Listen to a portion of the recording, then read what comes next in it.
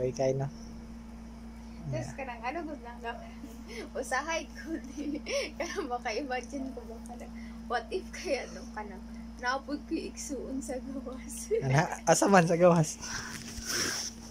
Pasudlo na to eh.